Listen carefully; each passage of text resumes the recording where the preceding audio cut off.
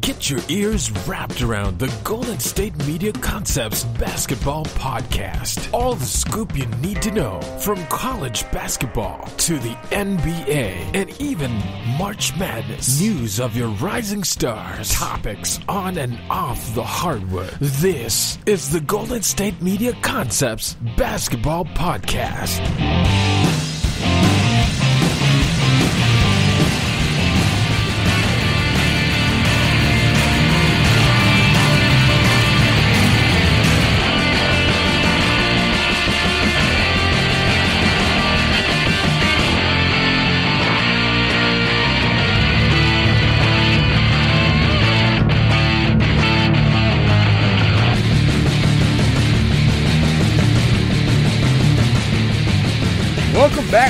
Show, ladies and gentlemen. We talk all the greatest basketball news. I am here in sunny California, uh, where we actually just had uh, kind of a big earthquake the other day and uh, a little tumbler. You know, we always like to talk about uh, earthquakes here in California. It's been hot.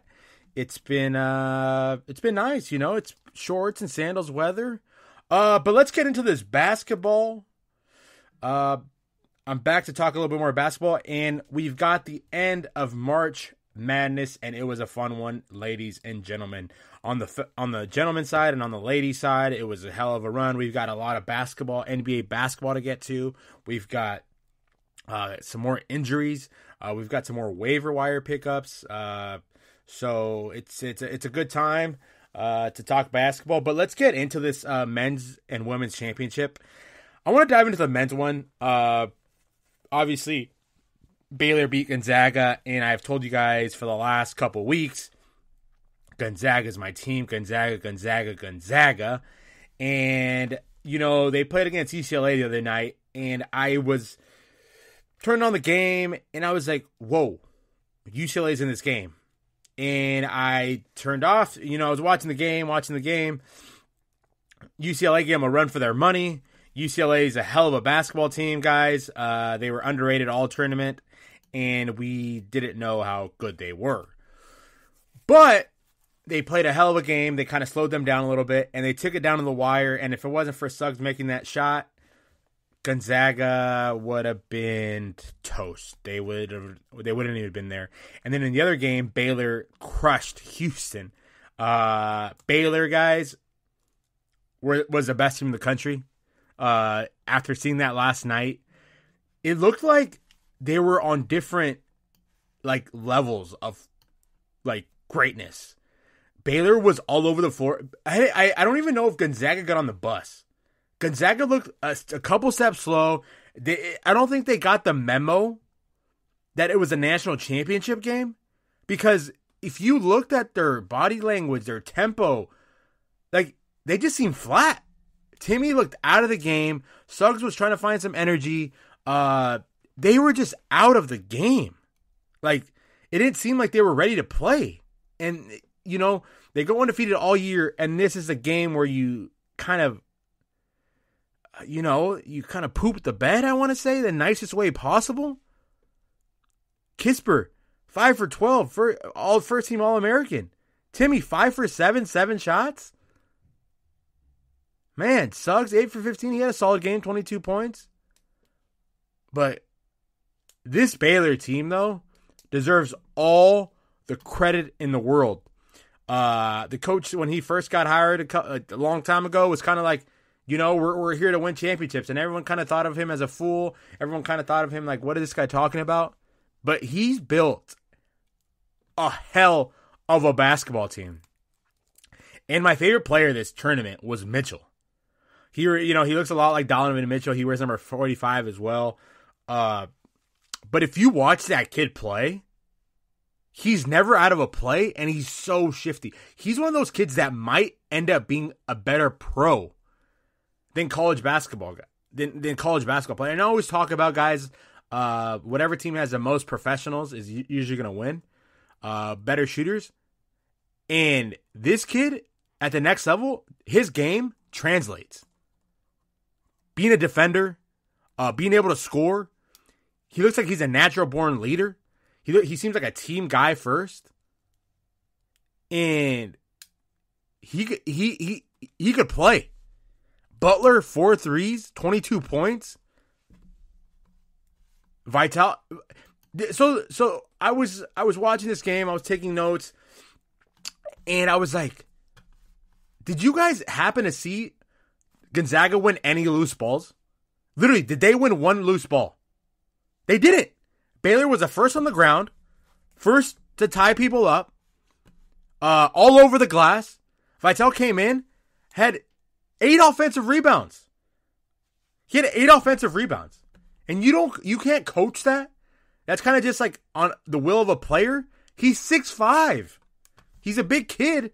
Like, you know, he's he's a little bit wider, but he's six five. Timme's six what? How how tall is Timme? He's close to being a seven footer. Yeah, Timme's six ten. Timme's looks showed.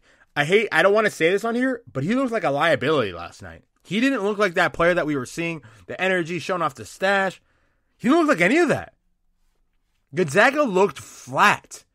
Baylor had, uh, you know, poking balls away, uh, getting in passing lanes, uh, blocking shots. There is a there is a video going viral, and if you haven't seen it yet, please go watch it. Uh, there's a Baylor player that uh, gets a deflection, saves, throws it back. Uh, he's probably ten feet past the court. He has to maneuver his way back onto the court, then runs to the other side of the court to contest a three ball. The guy misses and he gets a rebound. Baylor wanted to win. And in college basketball, sometimes the team that wants to, the team that wants it a little bit more, just because talent wise, sometimes you know isn't always there. They're not as talented as the NBA guys. But if you hustle in college basketball, you have a pretty good chance of winning the ball game because you get offensive rebounds, high percentage putbacks, uh, get in transition, He run and steals layups, right? It's layups, it's e- high transition, uh, easy buckets, and that's what Baylor was doing. Yeah, they hit some three balls. They were they weren't great. They were ten for twenty three. But they were just in transition. They were 83, they were 88% from the field. Free throws, I'm sorry. 16 of 18 free throws, 40, 44% from the field. But Gonzaga, like they cut it to nine in the second half, and I was texting some friends, and I was like, you know, if Gonzaga cuts it to, I, my magic numbers in college basketball are always eight to twelve. Those numbers I always are my markers. Eight to twelve, you cut into there, you have a chance. Uh, and I said, so I tweeted out in all my, you know, if Gonzaga closes, they, there was a TV timeout about four minutes left, and I said, Gonzaga makes wins these last four minutes, they're going to have a shot. And they did. They won the last four minutes. They go into the half down 10. You know, down 10, you're in striking distance. Because at one point they were down by 16, 17 points, I want to say. Uh, and it, well, the game started at uh, nine, to zero, you know, and then I'm like, okay, okay, this is gonna get bad. Uh, then it was eleven to one, and I was like, oh my god, what's going on, Gonzaga? Like, let's stop. Then sixteen to four, and then I'm like, okay, come on, wake up. Twenty one to eight, it ended up being like 21 to 6 at one point, obviously. And then so then we I said, okay, four minute mark, you know, they, they need they need to get going. They this is where they kind of break into the lead because I'm a firm believer that you win games to start starting quarters and ending quarters. That's you know I'm a firm believer in that. first three minutes, first uh, last four minutes or last thirty minutes. I'm sorry, and Gonzaga did do that. They did. They won the last. They they won the last four minutes, and I was like, okay, they have a shot. Like I said, going in the half, 10 points. And then all of a sudden they come out in the second half and they're down 14. And they just weren't, it was loose balls though. It was, the guys weren't playing hard and they cut it down to nine at one point. And then it was, they had a five point swing where uh, Vital had a block and then he, they turned it into a three.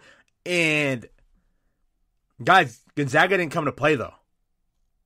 Eh, they were searching for energy all day. Uh, but this Mitchell kid, guys, I love his game. Absolutely love his game. Love his game. I, no and for butts. Uh, such a good ball player.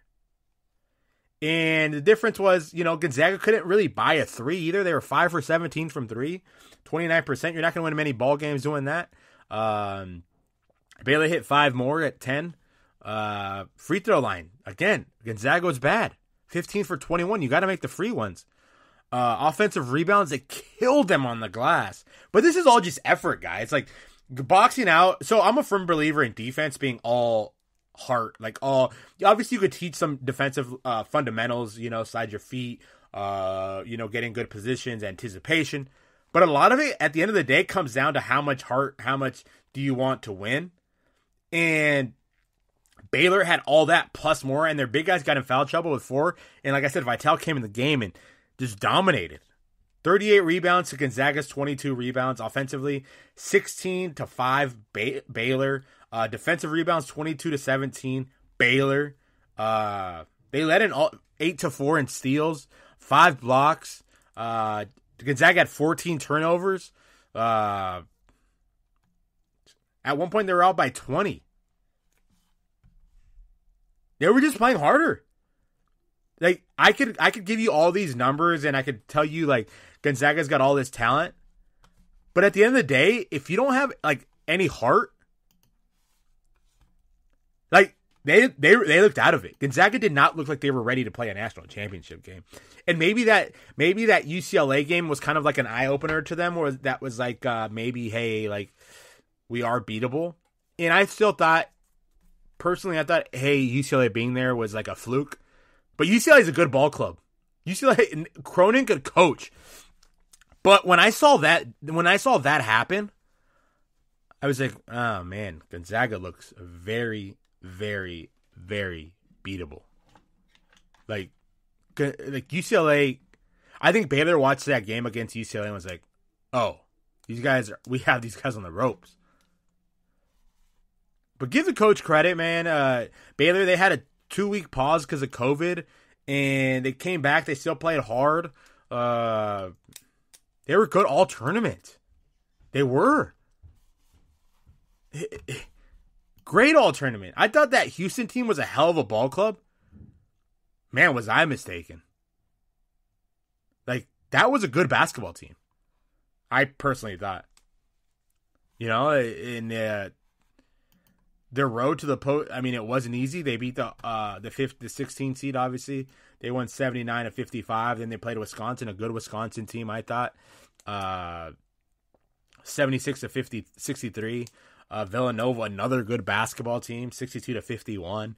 Uh, Arkansas, uh, you guys know how I love, I love, I loved Arkansas this year, 81 to 72. Arkansas, I thought was a lot like Baylor in the sense that very scrappy team. You know, they beat you with their motor. Uh, they beat you just off pure hustle, and that's what I thought Arkansas was. And you know, they came up short. And then Houston, I thought was a suffocating basketball team. They were so long, and Baylor didn't have a problem with them at all. They put them put them to bed early. Uh, credit to him, and then they came back.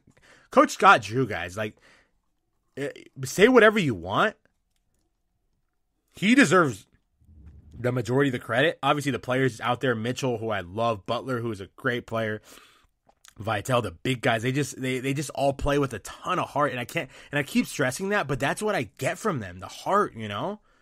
Uh, and then at Gonzaga, they obviously kicked their butt at the end. That wasn't even a game, guys. And they they lost to Oklahoma State, who I thought you know was a good ball club. Uh, Cunningham in the regular season, um, he's a pro. He, he's going to be, but man, that's that's that, that's a hell of a ball club, guys. Um, hell of a team. You know, Gonzaga. Gonzaga's gonna be good, but oh man, the un, you know you hate for I like Mark Few, and I thought they were they were my team to beat. I lost my bracket because of them. I was came down to the wire. The guy that beat me had the Baylor Bears. Uh, man, good game though. Not a good game, I, and it's not wasn't a good game. It was honestly a terrible game, to be honest with you. It wasn't a very good game. It was a good game in the sense that Baylor just kicked their butts. Like, man, Baylor, you deserve it. That was good, good ball game, man. I it was nothing more I could say about, but you know, Baylor just showing up and just old fashioned. Let me kick your butt. That's basically what it was, you know.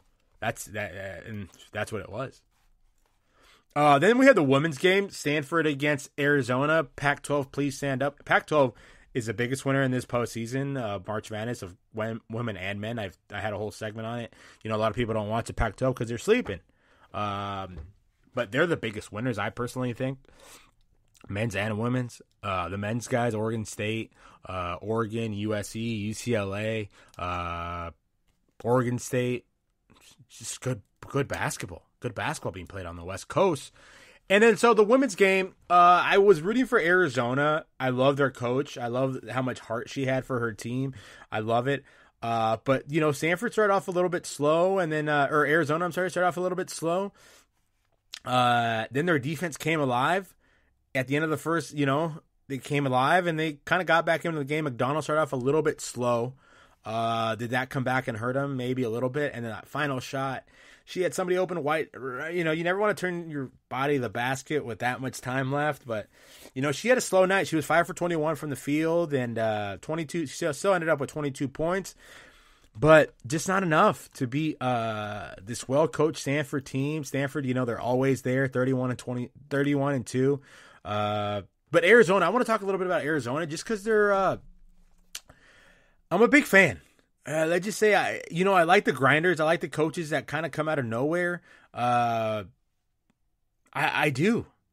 Uh, Coach Adia Barnes, she, she had. I'm gonna, I'm gonna talk about this here in a second. Uh, she had a, a, a moment before they, after they beat UConn that I want to talk about here in a second.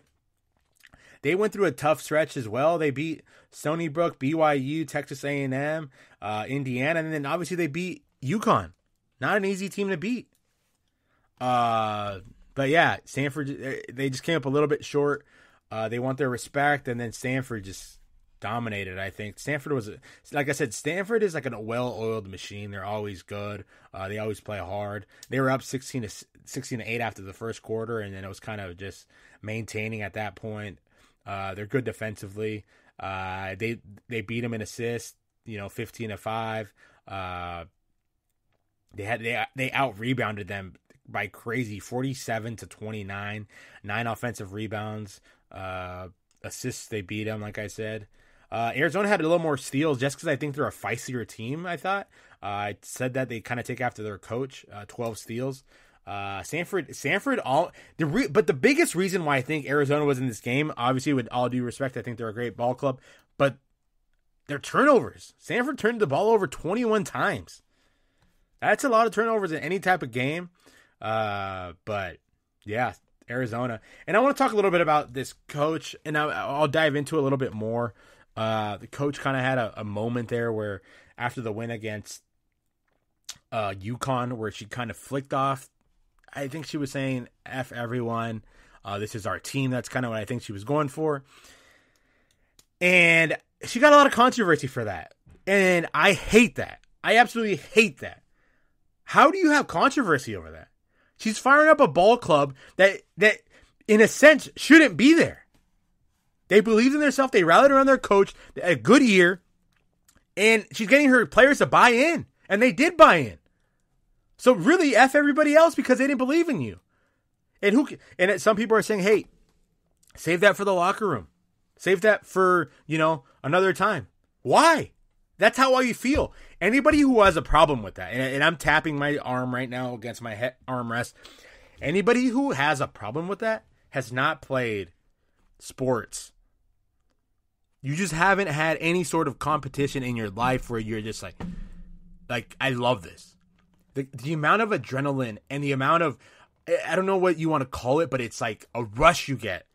You just beat the number one team. You just beat UConn. You just beat Geno Auriemma, a walking legend, a guy who first ballot Hall of Famer. The guy, the guy's everything. UConn, the best program in probably in women's history, right? You just beat her. You were underdog. No one had you. So yes, it's okay to be that way. Why are we? Why are we knocking them? Why did you have to apologize? That bothers me so much. They just beat UConn, and you guys are over here telling her to apologize? Obviously, they fell short against Stanford, and that's unfortunate. They had a hell of a run. Like, What are you going to knock her for? Don't, don't fire up your ball club? You have no idea how you, uh, that feeling of winning on, on the biggest stage. And you're going to tell her to apologize? They've never been there. And it's okay if she hasn't been there. Even if you've been there, it's okay to be that way. It's okay to show a little bit of emotion. Why is it now we can't show emotion? In sports, it's the most emotional thing. The, the thing that your body, your mind goes through in a basketball game, and any type of sport, just in general. And we're trying to knock her? Come on. All power to you, Coach Barnes. I love it.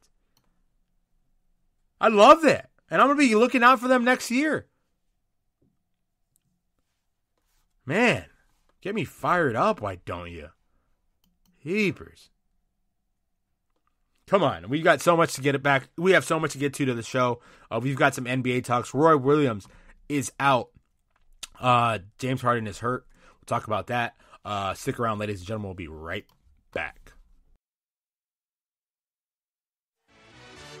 Are you looking for the very best NFL and college football podcast? Then check out the GSMC Football Podcast. Get the latest football news both on and off the field. From the NFL draft to trades to the rumor mill to the NFL combines, they got you covered. That's GSMCpodcast.com backslash football dash podcast. Get updates on college rivalries, game day insights, and much, much more. It's football talk the way you want it. This show eats, sleeps, and breathes football. Don't forget to like them on Facebook and follow them on Twitter. Visit gsmcpodcast.com for more info.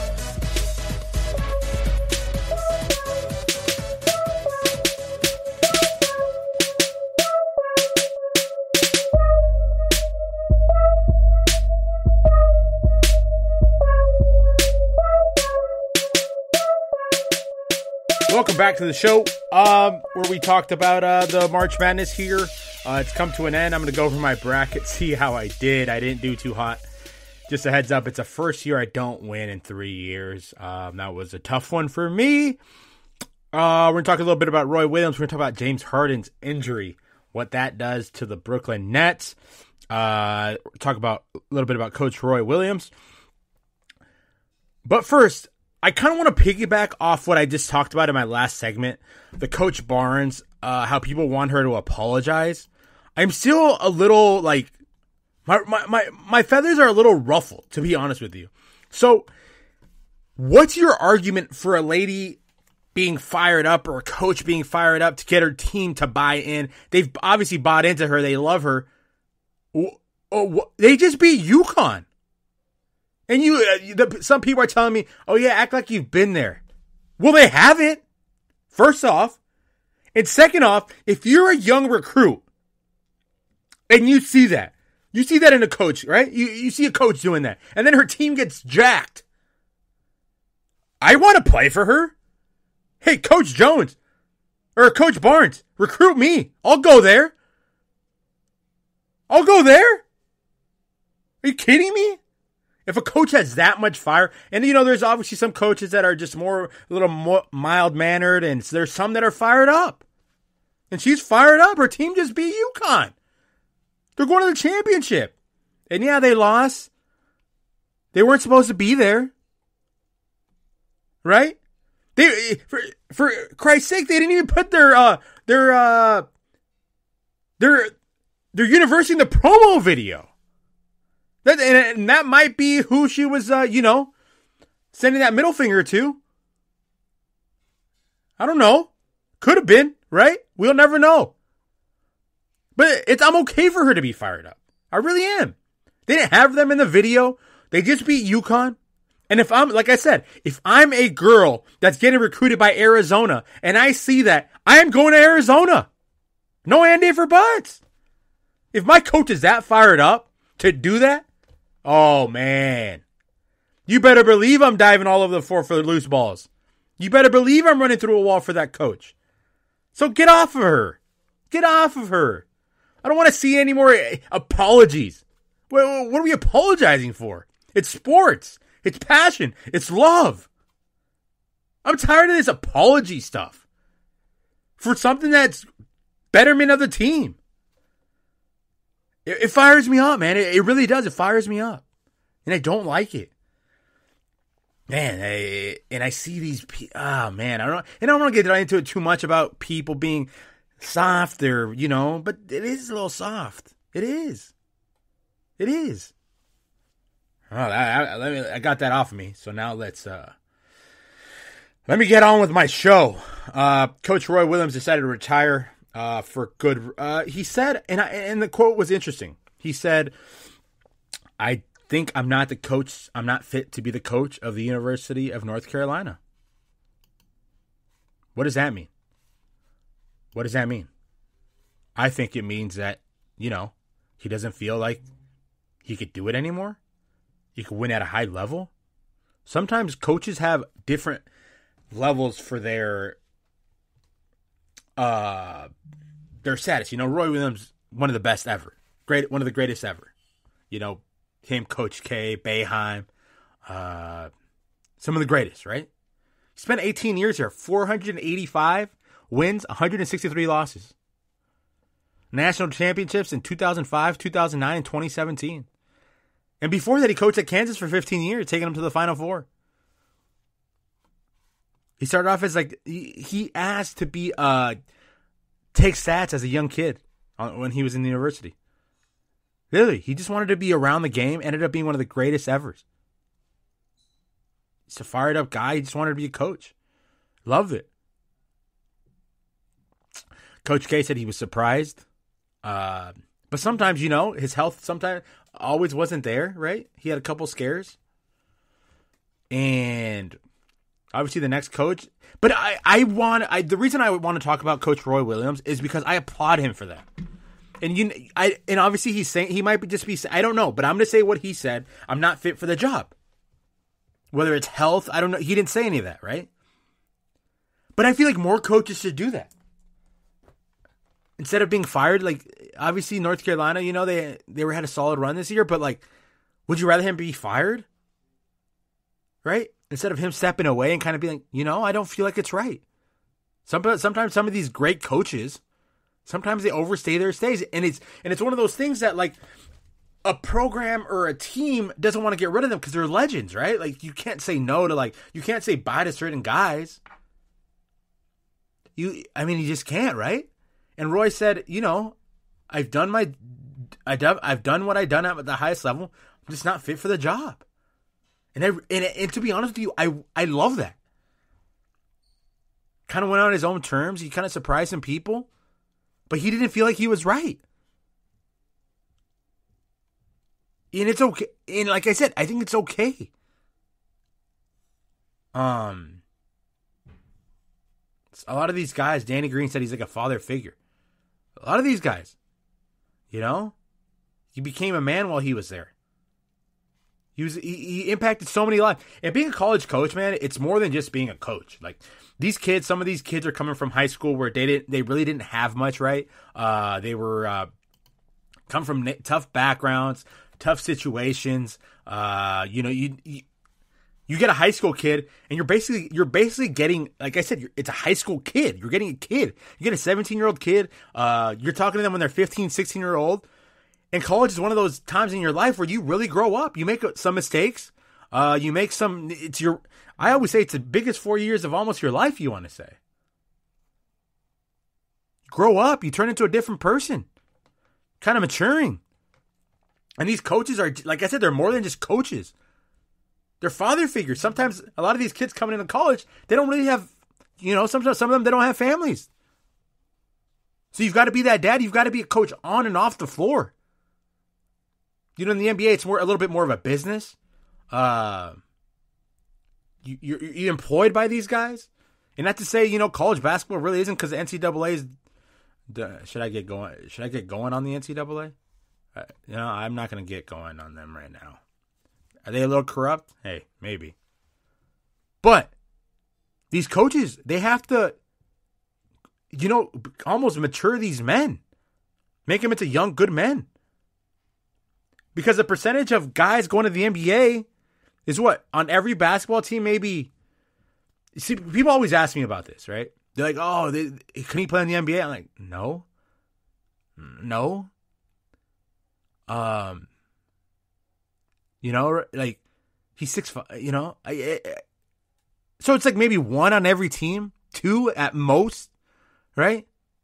Not many, unless you're Kentucky. Then you got just dudes, but or like you know, uh, Duke. But like on any regular team, maybe one, maybe two, maybe.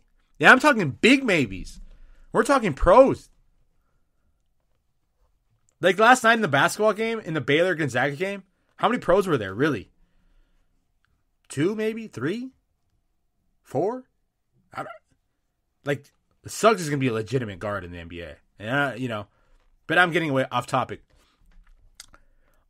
But these guys, they've, you know, none of them are going to play in the NBA, so you've got to set them up for life. They go get a, they go get a, a degree. Uh, some of them move on to jobs, right? Start families. Some of them don't know how to be dads because they didn't have that father figure. That's what Roy Williams. That's what Coach K, Coach Boeheim, all these guys. That's what they are. They're they're, they're setting these men up. So Coach Roy Williams deserves all the credit in the entire world. Um, I love it. Um, like I said, I'm glad he. I, I, I wish more guys did this. I, I really do. I really do wish more people did this. More coaches did this. Because sometimes you feel like oh, they're, they're like you don't want to push them out. They're legends. You you know, they're legends. And uh, Coach Roy, man, he he he did a great job over at North Carolina. I hope he's in good health. I hope he's in good spirits. And they just hired another coach who he signed off on really heavily. He was a long time assistant for them. Um, so they'll be good. They'll, they'll be good. He played under Roy. He played under Roy uh, for all those years. Um, Hubert Davis, he's you know played in the NBA for 12 years. Uh, good leader of men, uh, because that's what you look for in you know in coaches, good leaders of men, good le- leaders of young women, of women. Um, it's got to be great leaders. They wear so many hats. And uh, you know, sometimes coaches sometimes the first one to go when something goes bad. And you know, college coaches is recruiting, uh, you're coaching, uh, a lot of you know different type of backgrounds you're coming into it. Um, so you wear a lot of hats as a as a as a college coach, I think. And uh, Coach Roy Williams deserves all the respect in the world. Good for him, 70 years old. Um, ha- have a good retirement, Coach uh, Basketball Hall of Fame in 2007. So he's a legend. He's a legend. Uh, now let's get over the NBA. Let's talk a little bit of NBA. I've been talking a lot about college basketball, and I'll get. I have another segment coming up about college basketball and pros. Um, I always have this. This discussion always comes up when I watch with people.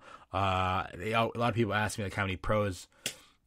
Actually, I'll have this now. I could talk about it now. Uh, so a lot of people ask me like, hey, what do you? Th- how do you think he fits in the pros? I'm just like, who? Yeah, um, uh, like Timme, for instance, last night. You know, he's a good ball player. Um, but what position does he play? Is he a four or a five? He's six ten. Like you realize, like, is he guarding like Gobert? Like, is he guarding Porzingis? Like, is he guarding Anthony Davis? Is he guarding Giannis?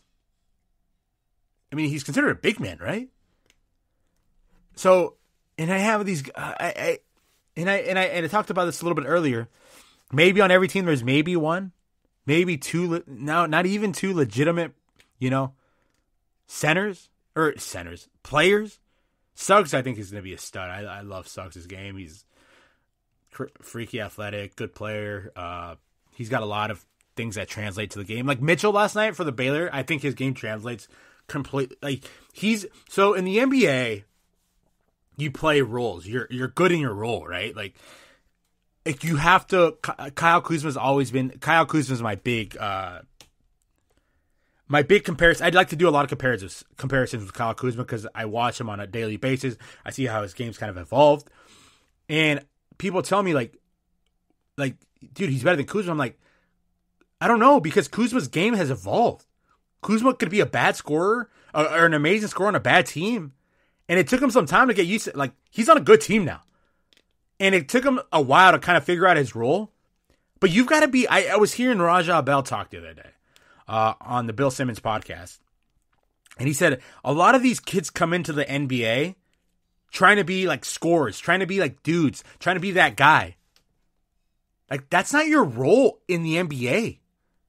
Like you have Harden, you have Luka, you have these top guys on teams like Beal, you have Lillard. Like you're not going to be that guy.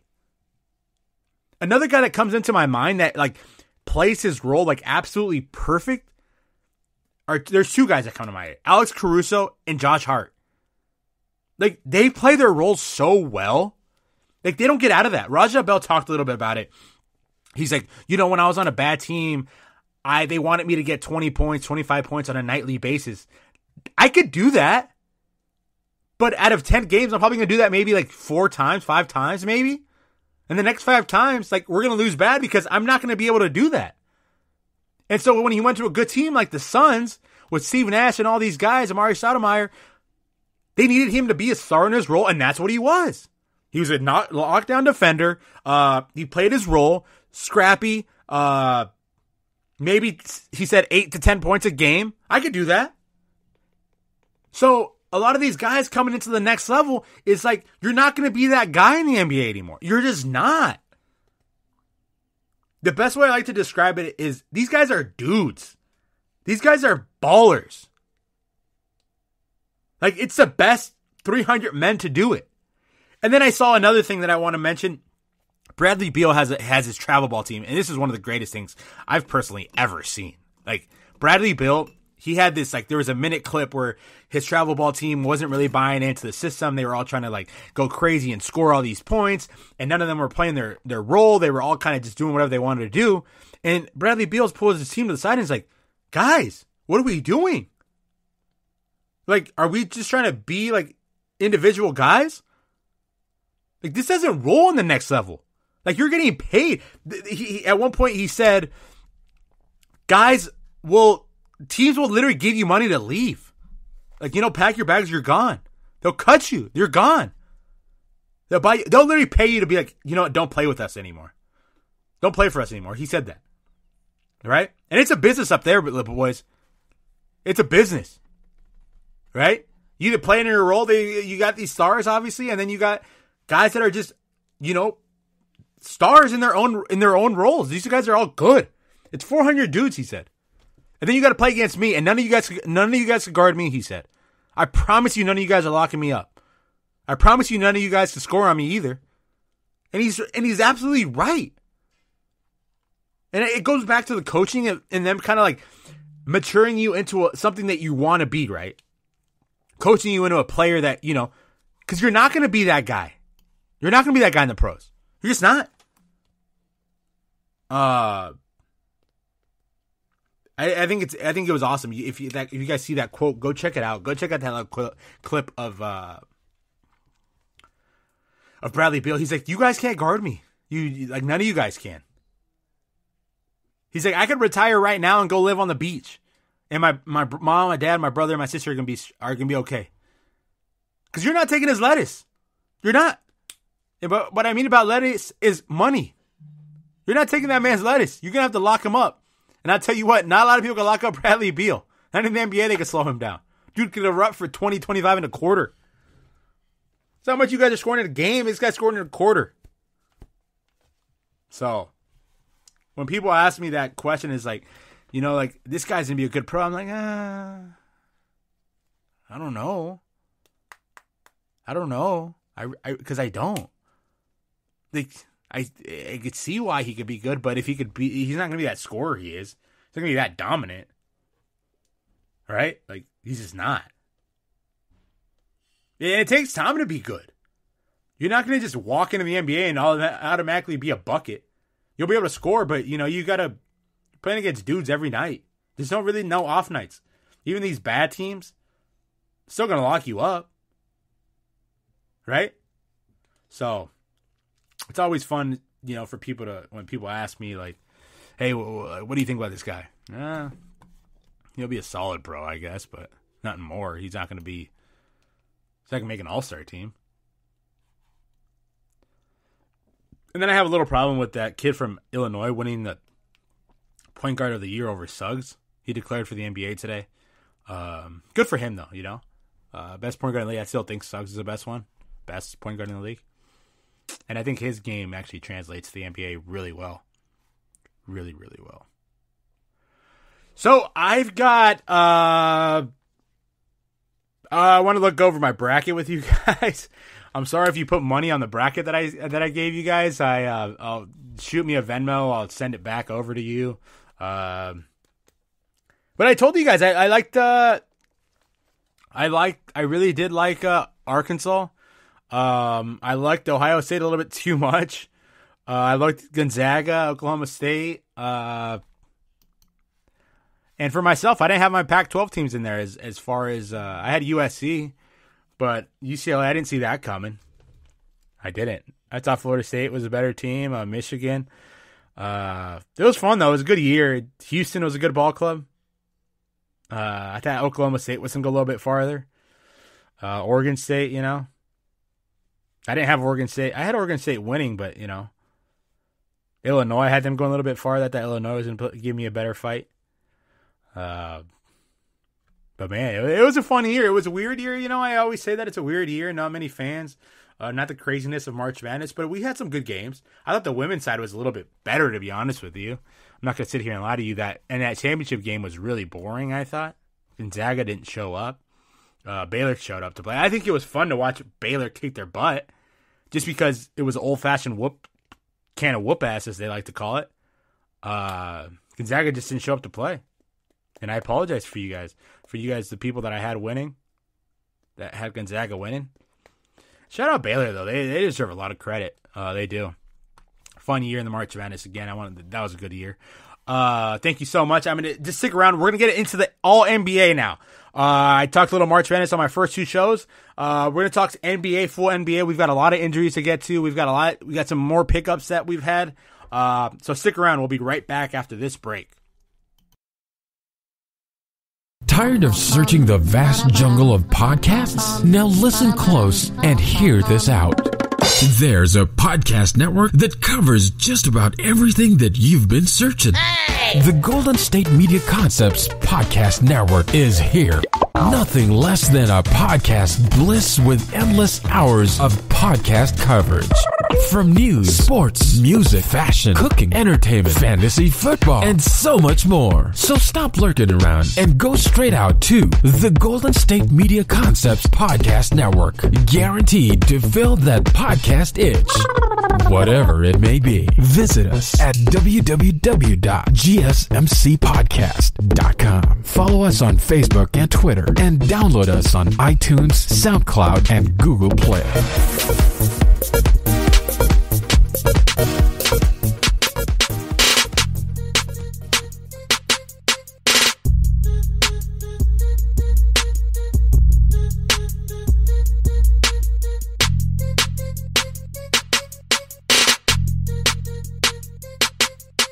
Welcome back to the show, ladies and gentlemen. Uh, let's get into a little bit of NBA talk. We talked March Madness. We talked uh, Coach Barnes getting me fired up, having to apologize to these people, which is absolutely terrible.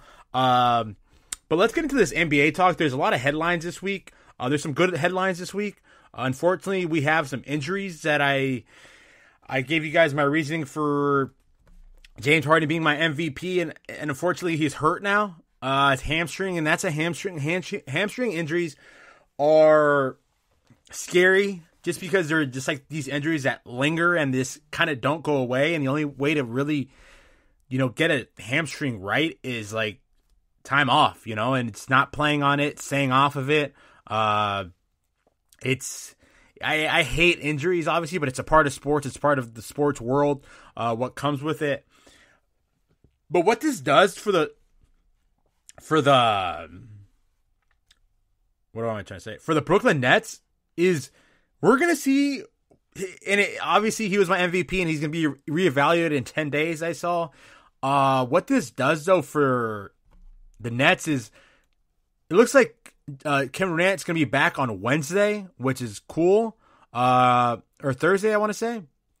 which is good for the Nets. So we'll see how uh, because like I said, I don't trust Kyrie to run this ball club. I really don't. Uh, the Nets beat the Knicks last night, and obviously Kyrie kind of took over though, right? He had 40 points, two rebounds, and seven assists. He kind of took the reins. Uh, he's been, you know, he had a hell of a play, man. He had this move where he went up with his right hand and then came back down and shot it with his left. Uh, crazy finish, uh, hell of a finish. Uh, like he's one of the most talented guys, and that's not. I've never knocked him for not being talented. I knock him for not being like a reliable guy, you know. Uh, but he's back, and uh, they'll have Kevin Durant to to go at it with. Uh, that's exciting news. Uh, so we'll see how that goes. Uh, and then we have. If I hope a lot of you guys watched that game, there was it was it was a cool moment because uh it wasn't cool, but it obviously means a lot to these kids. And Julius Randle's son, it, it was a cool, cool clip. You guys, I'd want you guys to go check it out.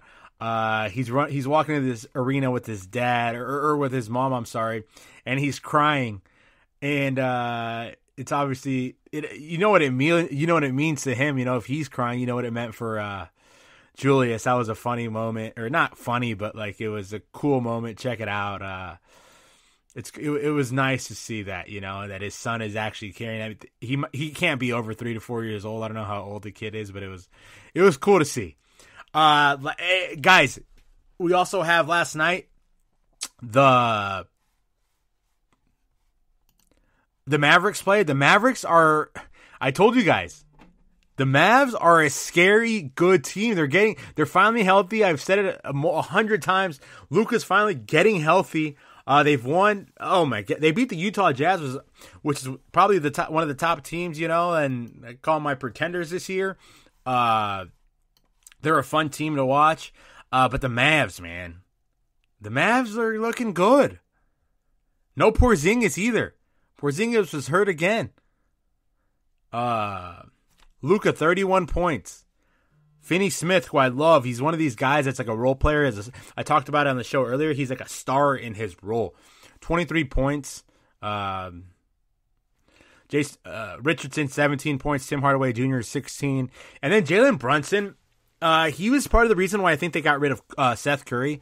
Uh, I think that was part of the thing that uh, I thought they were going to be. They I thought they were going to miss him a lot.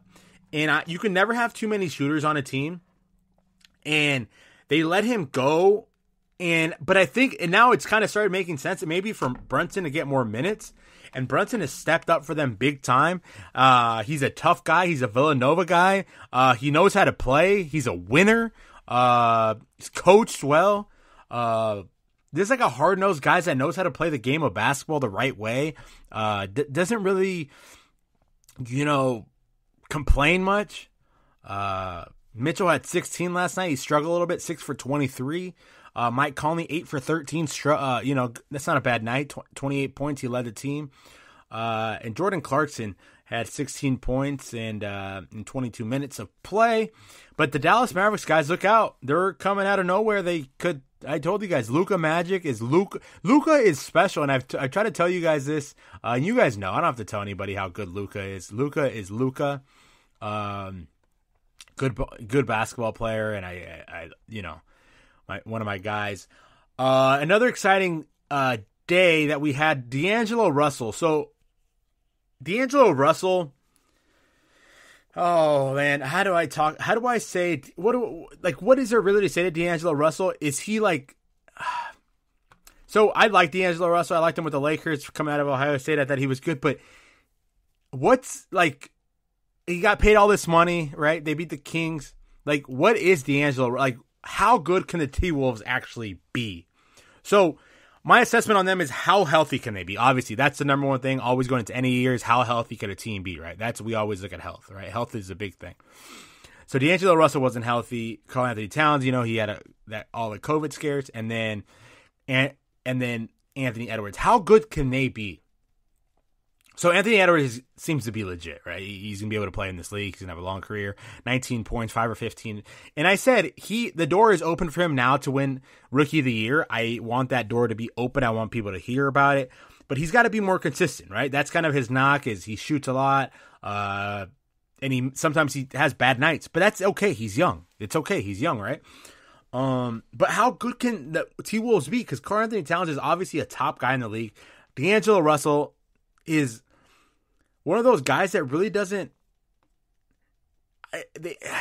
Does he is he a star? No. Is he an all star? He's like right below that, I want to say, but he's like a scorer. But like, is he a point guard? He came off the bench last night, scored 25. He's a guy that's a bucket, though. Like, you always know he's gonna be able to score. He's always been able to score at you know any level. He get to the basket. But the thing about him is, can he get guys involved? Because he's a point guard, obviously. He had three assists last night, which is you know, uh, but they need their guy, right? Uh, they're gonna need their guy. They're gonna need like a super. They had their guy like in Jimmy Butler, who was a leader, and I don't think Karl-Anthony Towns is quite yet the leader. Uh, I don't know if Anthony Edwards is quite yet a leader either. And they're all like a bunch of dudes, and I feel like they could almost be like the Utah Jazz that have a lot of good pieces, but not have that star, you know, that puts them over the top. Like, who's closing the game out for them? Is Anthony Edwards? Like, is it Karl-Anthony? Is it D'Angelo? And you see a lot of these teams that are like that. Like the Knicks are like that, right? They're like, can they eventually have like a star? Because every team needs a star. Because we got a bunch of role guys, and a bunch of role guys usually don't. They win a lot of regular season games, but down the stretch in the playoffs, you need a guy. You need your horse, right? Uh, you need like every team has that guy, right? So like Jimmy Butler, like I said, the Lakers they have Anthony Davis or LeBron James, who's obviously their leader. The Clippers, like Paul George or you know Kawhi Leonard, could be like they still don't kind of know who their guy is. But all these teams, like for the Warriors back in the day, that Steph or or or, or uh, Kevin Durant, right? The Knicks or the the Brooklyn Nets, James Harden, right? Kevin Durant. Like you need that guy. So what can Minnesota ideally do? Is maybe in the offseason kind of get somebody. They're in the same kind of in the same boat. They could be good. They've got these pieces that are great pieces, but they need that one guy to get you over the top. And to go back to D'Angelo Russell, like, does he make this team better? Is he, is he going to take shots away from uh, Anthony Edwards? Like, is he going to take shots away from Karl-Anthony Towns? Like, what's his ultimate? Like, what is he ultimately going to do? Is my thing. How are they going to fit that in? Because to be honest with you, has D'Angelo kind of fit anywhere? He's gone. You know, it's I don't know, and I can't really answer that. I just don't know. Uh, the Phoenix Suns beat the Houston Rockets last night, one thirty three to one thirty. Uh, Houston looked good, man, and uh, unfortunately, Devin Booker went on a tear of his own. He went on his own little streak and called game. He said, "Enough of this malarkey. I'm taking the game over and we're winning." That's basically what he said. It came down, came to him winning it. Detroit beat the Oklahoma City Thunder. Um, so I was asked a question. What? So going back to the Phoenix Suns, like the Phoenix Suns, right? Are they this bubble team from last year, or are they like legitimate contenders? Can the Phoenix Suns legitimately win a championship? And I said no, right? Uh, essentially, they're the same team as the bubble team last year. Obviously, they went nine and zero in the bubble, and they had Chris Paul, and I think they they makes them a better team, right? Uh, but I think they're a threat. They're a threat, and it, it all comes down to health, and they've stayed healthy for the most part. Uh, but I, I, I just you know they're like they're one of those teams that's maybe like a piece away, right? And a piece away is you know a lot to me. But they're doing well, right? They look good. Uh, Chris Paul's added a different dimension. Like that's a leader, right? So like that's kind of what I mean, right? So we have the the Timberwolves that they have all these young good players, right? But they don't have that guy. And like Chris Paul ended up being that guy for the Phoenix Suns. He he takes over late game. Uh, he takes pressure off Devin Booker, Aiden, and he kind of does his thing, right? And that's he's a leader. And the the, the Minnesota Timberwolves don't really have a leader, right? Do the Knicks really have a certified leader? Right? That's kind of what a lot of these teams look for is a leader. Um, and yeah, that's what kind of I'm basing off of my what I'm looking at, right? So, and the the Phoenix Suns, with, with all due respect, 35 and 14. That's a good ball club. It's a really good ball club. Uh, it's a good team. Good team. Good team. And then we had um, Toronto beat the Washington Wizards 103 to 101. Uh, and then Detroit beat Oklahoma City 132 to 108. And then Cleveland beat the San Antonio Spurs 125 to 101. So let's look at the standings here. I want to look at the standings. So in the East, we have Brooklyn. Brooklyn's taking over the first seed. Uh, Philadelphia's dropped down to two. Milwaukee three. Atlanta four. Miami five. Charlotte six, and then Boston seven, and then Knicks eight. Um, so it's looking like the playing games will be from seven to eight, seven. Um, and the Celtics could lose. Honestly, they could, and obviously they'll be shufflement because the fourth seed is 26 and 24 and then the eighth seed is 25 and 26 so it's only a game separation off of them a game and a half separation so there's not much separation. So there'll be movement uh, coming down the stretch here. And uh, there'll be some there'll just be movement. And in the west we see uh, the jazz who have stayed in first place uh, suns the clip the suns at second clippers who've been playing really well as of late kind of 33 and 18 blew out the lakers on sunday the Nuggets 31, 31 and 18 and 4, and the Lakers at the fifth seed who are dropping and dropping and dropping. They need to get healthy. They've got to figure it out, uh, you know, kind of stay above water. Uh, you don't want to get into those playing games, really. Portland, a six seed. Uh, Dallas, a seven seed. And then the Grizzlies, an eight seed. Uh, so the Lakers are about three games away from that. Uh, three games from that seven seed that no one really you don't want to play in that. You just really don't because anybody, you know, you you'd rather play a four game series with somebody. Uh, my personal opinion. Uh, but a lot of these teams got it, and the Lakers added Ben McLemore today. I like that pick up a lot for them. Uh, he's a guy that could has rejuvenized his career in the Rockets, and he played a great role when when the Rockets were going up to the championships and all that good stuff. They were not to the championships, to the playoffs. They were playing really well. Uh, he did a lot for them. He stretched the floor for uh, James Harden and uh, Russell Westbrook and all those guys. He was a spot up guy. If he gives them the Lakers 10 to 12 minutes a game, knocks down a couple threes, because the Lakers are one of the worst teams in the NBA at shooting the three ball right now. Uh, they just don't have many guys that can shoot three. Caldwell Pope is having I think, a bad year, to be personally honest with you. Uh, ben McLemore helps there. And the Clippers actually just signed Boogie Cousins, right? And I love Boogie Cousins, and I think they need help uh, at the center position, even though I think Ivica Zubac is one of the most uh, underrated players in the NBA. Uh, he's a good point. He's a good uh, center. He, I think he really is. Uh, you know, but I think they need some depth there. I think their second guy in line is, man, who is there? Ibaka's hurt. Ibaka's been hurt for a while, and uh, who else? I'm trying to think of their center. They don't. Do they not have another center? So they had Boogie Cousins for another ten day. They are going to sign him to a ten day contract and see how that works out. Boogie's apparently been working out, playing well, uh, in good shape. So that'll be nice to see Boogie getting another opportunity as he he's had a tough he he's had a tough situation the last couple years with you know his Achilles, and then he tore his ACL, and then he looked promising, he looked ready to go, and then that fell off. So good for Boogie getting another opportunity with the Clippers. Uh, the Lakers, Ben McLemore, I like that pickup a lot for the Lakers. Just stretch the floor out um, to make that kind of make that run. Portland's getting healthy, getting healthier. Uh, last night we had a cool moment though. Uh, Gary Trent Jr. hit a buzzer beater uh, and I and I want to talk a little bit about flopping, uh, in late, especially late in games. So, Gary Trent dribbled the ball up right, and he he drove down the court, and one of the the the Wizards guy kind of flopped, kind of threw himself back. And do you, what what do I think about that? Like, what's the deal with with like flopping at the end of games? So, my thing is at the end of games, you don't want to put the you don't. So refs don't want to make that call. First of all, like refs don't are going to bite their whistle. We've seen it with the Baylor. Uh, was it the Baylor women or no? Yeah, the Baylor women that they didn't. They, they kind of bit their whistle. Uh, we saw it with uh we've seen it all we've seen it in March Madness a lot. We, then we saw it in the NBA last night.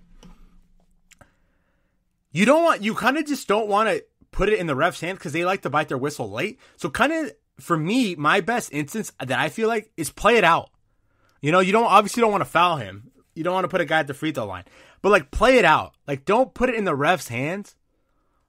Uh almost like stay back, play a little bit better defense and contest the shot. Uh Pop, Coach Pop said a contested shot's always uh better. Um chances go down, right, in him making it. Instead of him flopping, Gary Trent kind of just walks into the shot. Um, you know, and it's a bummer to I, I, like I said, I don't want you to. I, I don't like the flop. I don't like the flop. I just don't. Not, especially not late in games. Especially you know, especially late in games. You don't want to put that in uh, refs' hands. Another cool story that I want to talk about is Isaiah Thomas back in the NBA. Isaiah Thomas is a guy that has not been the same ever since he's left the clip or the. Ever since he left the Celtics, the Celtics obviously did him a little dirty. Uh, but it's a business at the end of the day. It's kind of everyone, every man for themselves. Like, what is gonna, you know, what what do we see? Uh, every man for themselves. And Isaiah Thomas just got a shot uh, with the Pelicans. And I I like Isaiah Thomas. He's obviously the last pick in the in the draft that he'll never forget. Uh, underrated guy. He wanted a lot of money, and unfortunately, he got hurt. Uh, and we never really saw. He never really hasn't been back. I know he got a ten day with the Denver Nuggets last year. That didn't work out. Ended up playing for the Lakers. That didn't work out. He played for the Cavs. They traded him. Uh, but he says he's still got some more left in the tank. He's uh 102% after his recover his hip injury, uh, surgery, I'm sorry. So we'll see. We'll see. Uh, I hope he I hope he does nothing but the best for them that you know the Pelicans are kind of on the outside looking in right now. Uh but he could help them. He's a young, he's he's an older guy. I could give him a boost. He could score if he could still. If he still he's one of those guys that was always a bucket. He could put the ball in the basket at any given moment. He could erupt at any moment. But this is obviously young Isaiah Thomas, and we'll see what he is now, um, how he looks, because he's missed a lot of time. And uh, slow grind, I follow him a lot on on all of my social media platforms. I've been a fan of him. He's kind of got that underdog mentality, little guy, uh, bulldog, kind of doesn't take no for an answer. Um, and he's one of those guys that could just, uh, like I said, fill it up at any given moment. But he's older now, so I'm glad the Pelicans gave him a shot to see what he's got. You know, some of these. But the thing that also a lot of these teams need like a veteran, and obviously uh, that's kind of like a lost thing now. Back in the day, you used to see that a lot. Every team kind of had a vet, right? And now you don't see that as much, right? The Lakers still have it in Jared Dudley, uh, but a lot of these guys are getting caught. Like uh, Crawford kind of got ran out of the league because he's you know a little bit older and he could you can help a team though, you know, like Vince Carter a couple years ago. I think he he retired on his own, but I think every team could do well with a veteran to just kind of help guide the young guys for the most part. As I think, you know, uh, but uh, yeah, uh, I've got some uh, interesting stuff to come up here a little bit later. Uh, we're going to talk uh, close out close the book on March Madness and close uh, and look forward to some NBA games this week. We'll be right back. This is your ultimate stop for everything sports. The Golden State Media Concepts Sports Podcast. Should I say more? From the NFL, MLB, the NBA to MMA, it's all in here. The Golden State Media Concepts Sports Podcast. Listen now.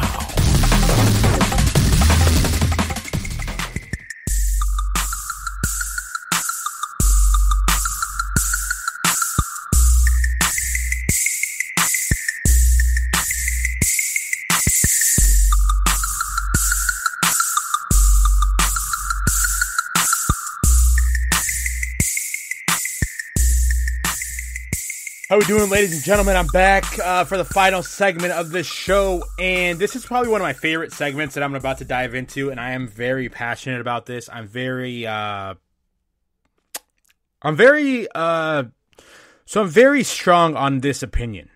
So, if I'm a high school kid and I want to go play in the NBA eventually, right? What do I do? Do I go to college or do I go to the G League? Do I go to overseas? What do I do? A little segue uh, the Lakers have hit nine threes in the first quarter. But here we go.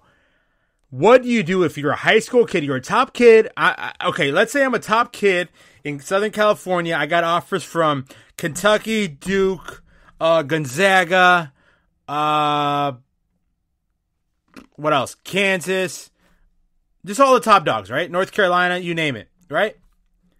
And then I'm a kid that has offers to some mid majors, right? Some small schools, the Daytons, right?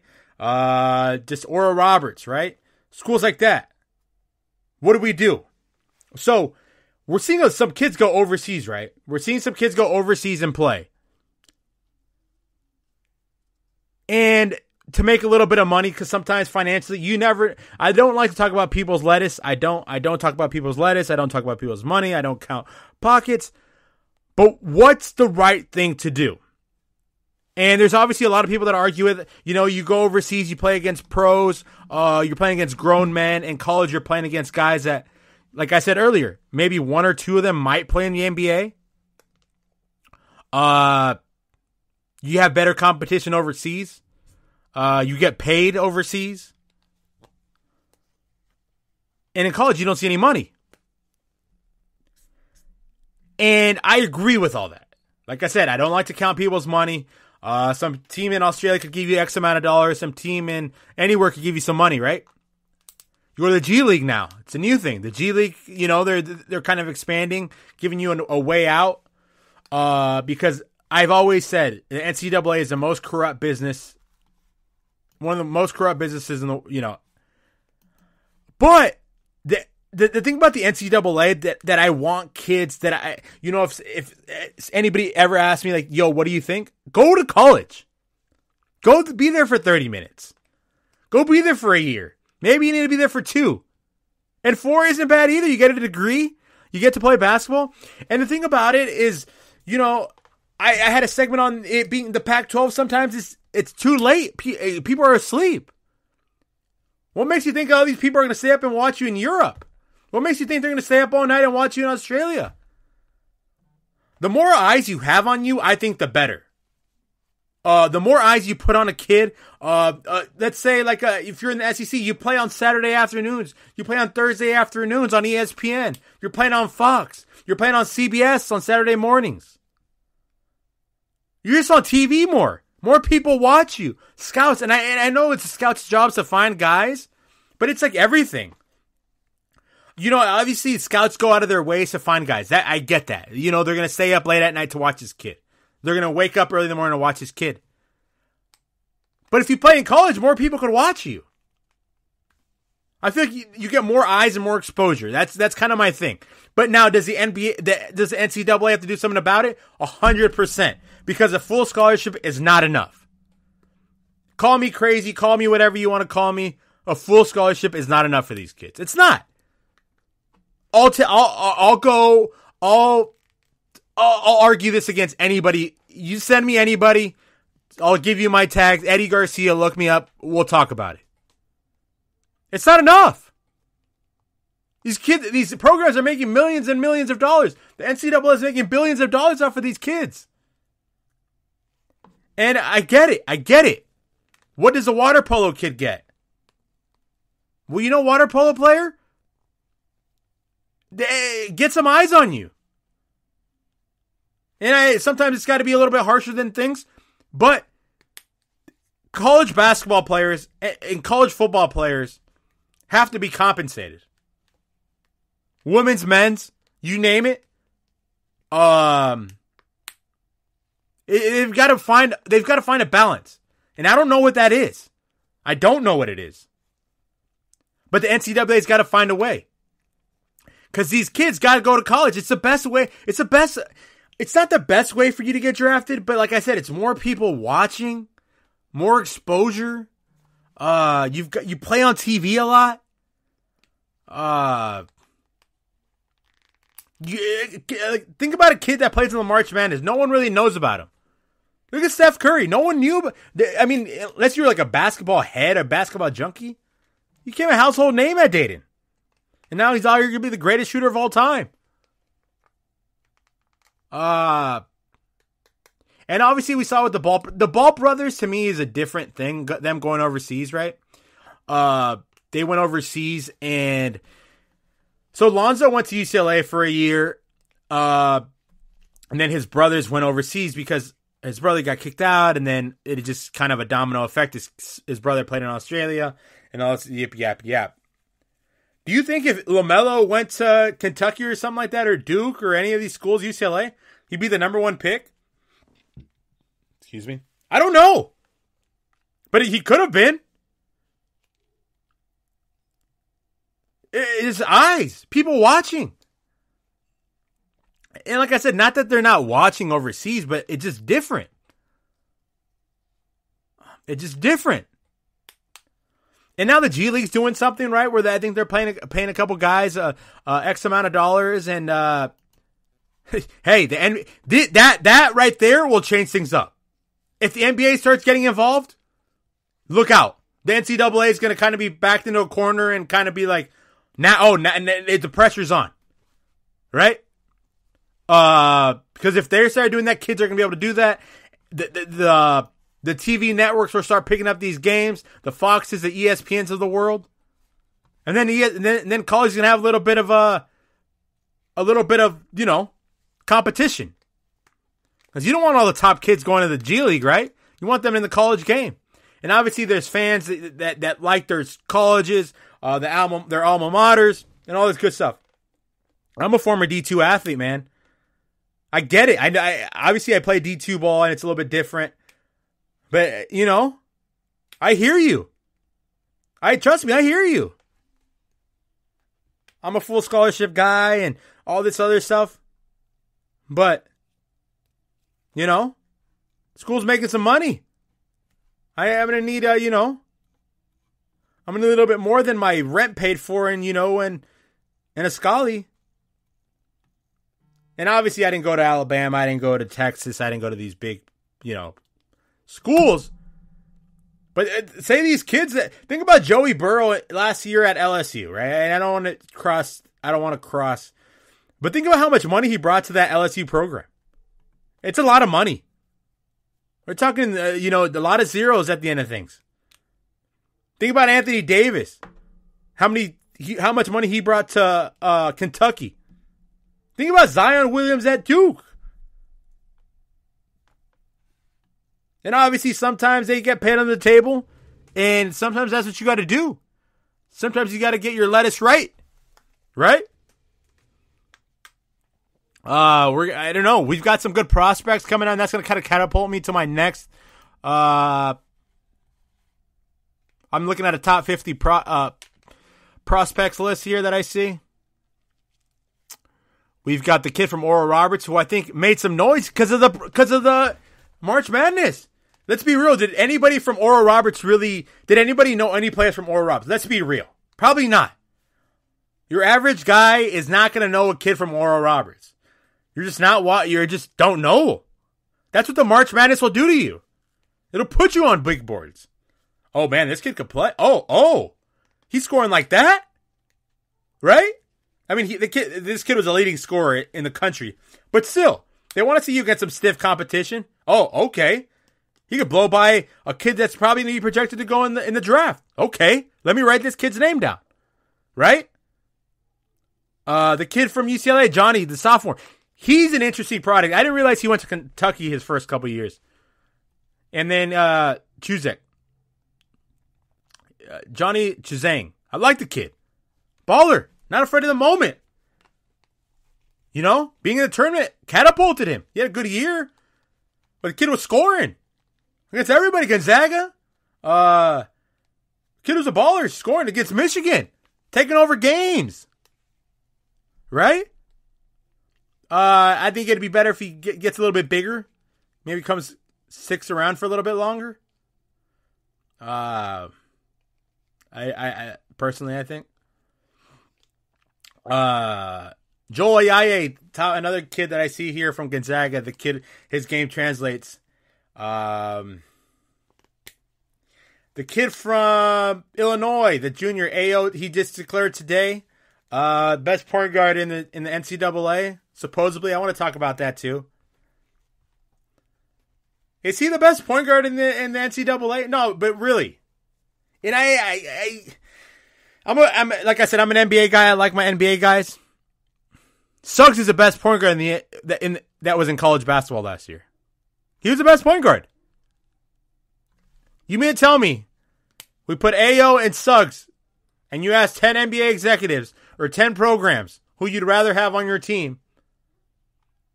Ten, nine times out of ten, a lot of them are going to say Suggs. Right? Kid's good. Don't I don't want to take anything away from him. Good ball player. I don't know. Uh, Brandon Boston, another Southern California kid from Kentucky. He's got to he's got to come back. Uh, yeah, he he's a right now he's 32 top prospect. He's not a second, uh, maybe second rounder just because of his potential, but he's got to he's got to come back and uh, kind of improve his draft stock a little bit. I think. Uh, Chris Duarte from Oregon, 25. I like that. I like that kid a lot. I think his game will translate. And never really know what these like. Uh, I see Real Madrid on here. Uh, I love basketball, but uh, I haven't watched a kid from Real Madrid center. I haven't watched them. Uh, who else we got here? Let me look at my list. Uh, we got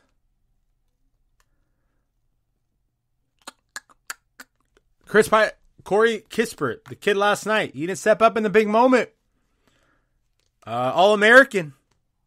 Kid from Gonzaga. He's a senior. He's gone. He'll be a solid piece, I think. Uh, I like his game. I like the kid Tre Mann from from Florida a lot. I think a point guard, he's uh he's another one of those guys. He's another one of those guys that hey, look out. He's better than that Ayo kid from Illinois. Moses Moody, Arkansas, top 12th prospect I'm seeing here. Out of Arkansas, kid was, you know, he kind of got slowed down at the end. Uh, but, you know, he's a good kid. Freshman Arkansas. I love that Arkansas team. You guys know how much I love that Arkansas. And then 11, Davion Mitchell from Baylor. Big fan of his. His game's going to translate so well in the NBA. Um, like I said, I love his game.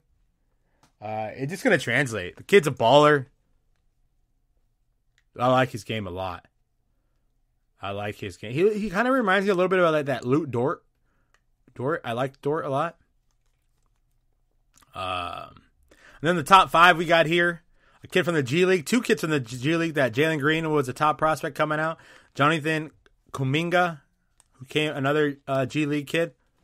Uh, we didn't. I, like I said, I didn't have much time to see him. I, I, they didn't play in college. I, you know, Evan Mobley, obviously from UC, from USC, great kid. Uh, number three prospect, Jalen Suggs, and then Cade Cunningham out of Oklahoma State to round things up. So those are, you know, those some legit uh, prospects. Look out, my guy from Oregon State though, Ethan Thompson. Uh, look look out for that name.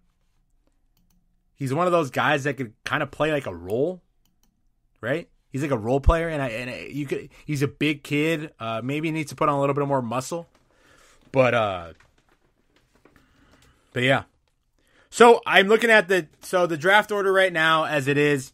Uh, this was updated on April sixth. Today is April sixth. And we have the. Uh, I want to go through the top ten picks. Let's see what the. Uh... No, let's go through. Let's go through most of the picks. Right. So so far from the top, let's do for one. Let's start at one because that's obviously where it's gonna. So they have uh the top kid they have is Cade Cunningham going to the Minnesota Timberwolves. Uh, the thing, so I talked about the Minnesota Timberwolves. They're an interesting team to me. Uh, like they need a star, and I don't know if Cade Cunningham is that. They need a guy that could, you know, close out games. I, I, I, I don't know. It'd be a good piece though. You add that to Anthony Edwards, D'Angelo Russell, uh, Karl-Anthony Towns. Don't be surprised if they trade uh, D'Angelo Russell again because Cade Cunningham, you know, kind of does the same thing. Because D'Angelo, D'Angelo, D'Angelo should be a point guard, but he doesn't really. I don't know. Doesn't really suit me as a point guard. Cade Cunningham going number one. Jalen Suggs going to the Rockets. Uh, I would love that for Stephen Silas. Another kind of a piece to build around. Uh, he'd be going into kind of a little bit of a mess. Uh, but yeah, Jalen Suggs at two. I love Jalen Suggs. He's a guy that is ready to play in the NBA tomorrow. Uh, I like his body, big kid, uh, 6'4", 205, uh, plays downhill. Uh, good kid. I like I, I like watching him play. I thought he was the best point guard in the in the in college basketball last year. Detroit Pistons, Jalen Green. Obviously, the Pistons have some things to work on, but they, you know, they got Grant who they could build around. They've got uh, they've got some good pieces down there. Um, Jalen Green, obviously, transcending player, top kid coming out of the class last year. Um, Cleveland Cavaliers, Ethan Evan Mobley, uh, freshman kid uh, from USC, 16 points, 8 rebounds, 3 blocks, 7 footer who could kind of do it all. Uh, dynamic center. Uh, but they got, they, uh, they have, uh, what's his name? Jarrett Allen, right? Jarrett Allen. Is that his name? Jarrett Allen? Poofy hair. They traded for for the Brooklyn Nets, and they obviously like him. So I don't know how that'll play out. Maybe one will play the five, one will play the four, because you know Mobley could step out. He could, he's an athletic big. Uh, Scottie Barnes, a kid from Florida State, going to Orlando Magic. Orlando Magic got to get they got to hit on a pick because they uh, they got all these big guys. Uh, Mo Bamba, eh. Uh, that's the other kid, Jonathan Isaac, eh. Uh, and then they got uh, who they get? Who's the kid they got this year?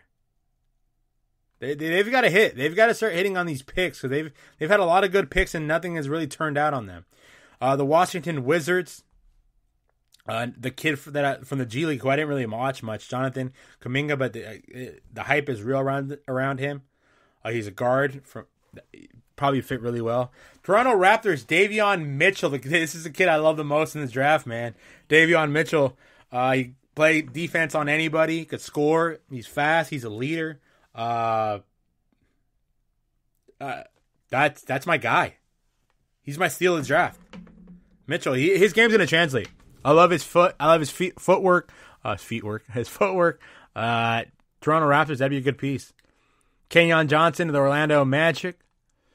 Uh, kid from Tennessee, Oklahoma City, Moses Moody. That's a good piece. I like that. You know, the Thunder. Uh, they know how to draft. They do. Uh, Jalen Johnson to go to the. And let me see other picks that I like where guys are going. Uh, Corey Kispert, the kid from Gonzaga, 18 points. Golden State Warriors. That'd be. I, I'd like that. Next to Clay and uh, Steph. Wiseman, hopefully he ends up, you know, doing his thing. Comes along.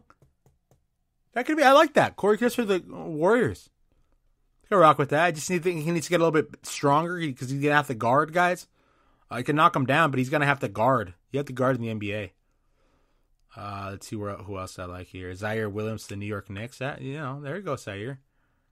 California kid. Sierra Canyon High School. Um, who else? I'm looking at the draft. I'm just trying to pick out guys that uh we see here. Uh, BJ Boston, another kid from Sierra Canyon, a guard going to Brooklyn Nets. Uh, that kind of rounds it up, right? Uh, but yeah, there's a, there's a lot of interesting prospects this year. It's been a weird year, like I said. Uh, March Madness, I did, I thought they did a hell of a job. Uh, some of these kids are going to get jobs off of it, you know, and it's exciting to see. Uh, exciting week coming up in the NBA. We've got the Lakers have they're up like I think they've scored 70 points in 68 points in the first half. That's uh pretty uh that's fun. I have it on while I record. Uh thank you guys so much for tuning in. I'll be back next week with some more shows. We got so much NBA stuff to talk about. Um good week in basketball. We're getting closer to the playoffs. Guys are getting, you know, it's getting tough. It's getting tough. Uh, we'll be back next week, guys. Thank you for joining me. Eddie Garcia, we're out. You've been listening to the Golden State Media Concepts Basketball Podcast, part of the Golden State Media Concepts Podcast Network. You can find this show and others like it at www.gsmcpodcast.com. Download our podcast on iTunes, Stitcher, SoundCloud, and Google Play. Just type in GSMC to find all the shows from the Golden State Media Concepts Podcast Network, from movies to music, from sports to entertainment, and even weird news. You can also follow us on Twitter and on Facebook. Thank you, and we hope you have enjoyed today's program.